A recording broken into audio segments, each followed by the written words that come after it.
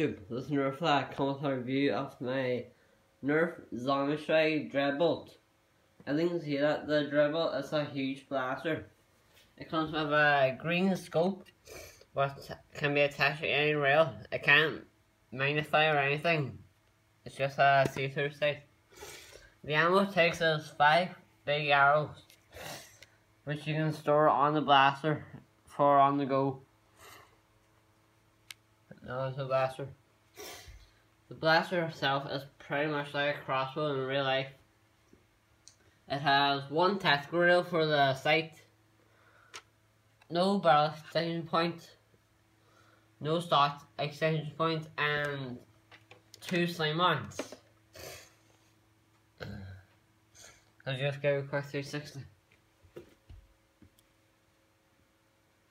It is a spring powered blaster, meaning you have to reprime before you can fire again.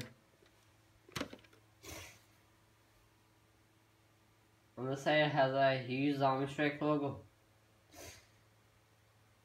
On the front you may notice that there is a working mechanism, how to load the blaster.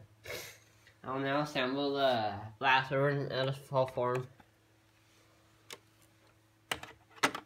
It is a personally my favorite zombie strike blaster so far. Cause I love The Walking Dead. Now, to load the blaster we have to pull the lever down until I can't go any further. The bolt should be like this. Then push it up. And you pick uh, up an arrow and slot it in. If you can see there, the should be wee orange thing going on. Yep. Ready, ready, fire.